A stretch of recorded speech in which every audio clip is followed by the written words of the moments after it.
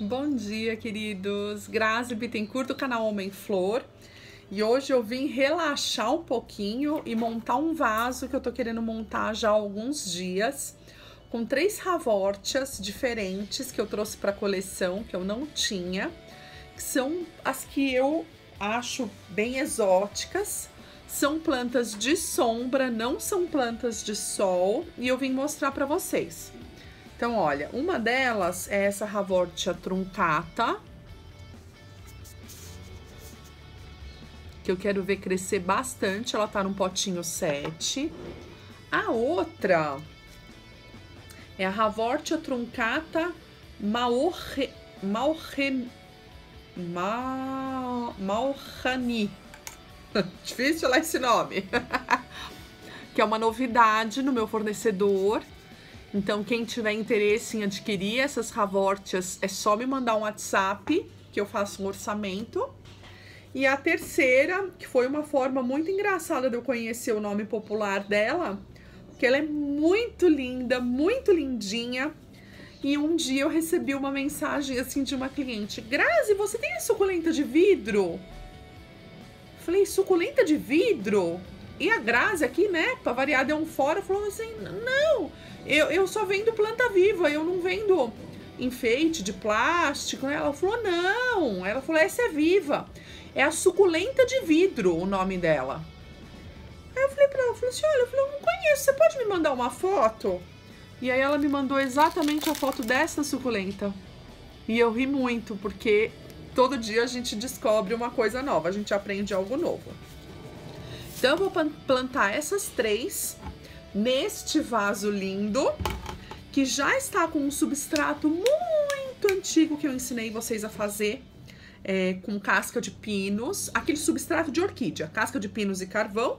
Então a gente compra assim, ó, com lascas de casca de pino e carvão, que eu misturei com substrato para qualquer jardineira e floreira que a gente compra nos gardens. Vou plantá-las aqui, então eu vou completar um pouquinho. Esse substrato tá novo, tá ótimo. Então não tem por que eu descartá-lo. E aí eu vou replantá-las.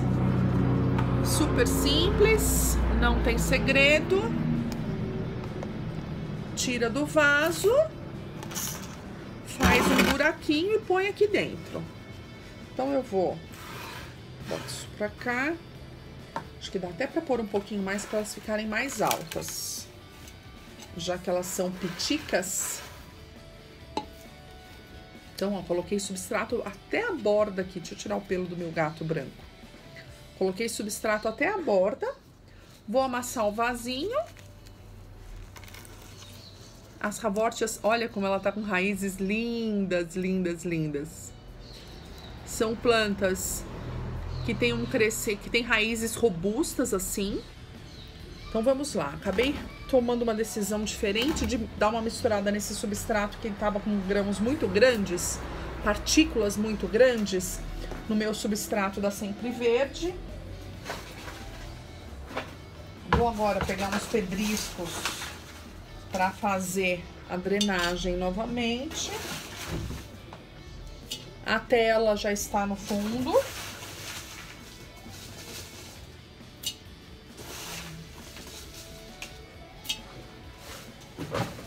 Agora eu vou colocar o substrato no vaso.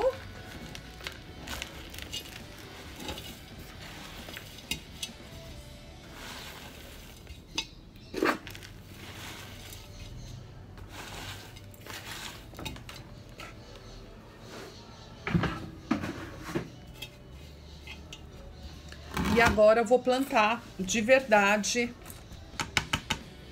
a minha Ravortia truncada, truncata Malrani, não sei se é assim que fala, mas enfim, que é essa daqui, que é uma novidade no mercado. Então, vou fazer um buraquinho, encaixar as raízes com delicadeza. Encaixá-la aqui.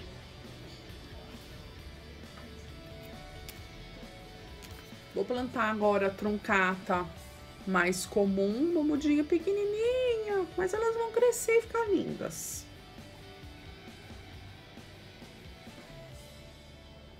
Então a gente só tem que tomar cuidado para não quebrar a raiz, né? Elas têm raízes fortes, durinhas, é fácil de quebrar. E agora a suculenta, então Havortia truncata, a truncata do nome diferente. Com o crescimento, elas vão se fixando melhor ao substrato, então não fica bamba. E agora a suculenta de vidro, que ainda não sei a ID dessa Ravortia. Ela cresceu bastante aqui em casa. Me deu mudinhas, tá me dando mudinhas novas. Olha que graça. Aproveitar, já vou fazer a limpeza. Tirar as folhinhas estão secas, tá vindo raiz nova também.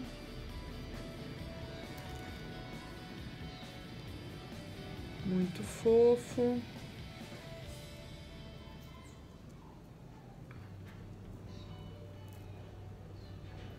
Ó, essa raiz aqui tava seca. E vou plantá-la aqui também. Fazer um buraco bem fundo para enterrar essa raiz. E agora eu vou pegar a cobertura que eu tô usando. Eu tive alguns seguidores que falaram para mim que tiveram problemas com fungos utilizando a casca de pinos seca. Eu nunca tive, gente. Nunca tive problema com o pinus. Eu uso muito substrato que tem casca de pinus moída desde a época das orquídeas e nunca tive problema com fungo. Então eu vou continuar usando, mas obviamente sempre alerta a dica que eu recebi do pessoal, que eu super agradeço. Então eu fiz uma bagunça, uma pequena grande bagunça para variar. E agora eu vou mostrar pra vocês como ficou o vaso. Então, olha só, não reparem na bagunça da mesa, não limpei ainda. E o vaso ficou assim. A Ravortia truncata, a truncata, blá, blá, blá, que vocês lembram que é difícil de falar o nome, e a suculenta de vidro, que eu ainda não sei qual Ravortia é essa. Vou pesquisar depois. Bom, são suculentas que não aguentam sol direto, então eu vou deixar num local que até mata um pouquinho de sol, mas é aquela coisa do, do sol passando, sabe? Local com muita luz para que elas se desenvolvam lindamente aqui no meu cantinho. Espero que vocês tenham gostado de conhecer mais essas suculentas novas de sombra aqui da Homem Flor. Não esqueçam de deixar aquele like e quem não está inscrito, aproveita, clica aqui no botão e se inscreve no canal. Beijo no coração, até o próximo vídeo. Tchau!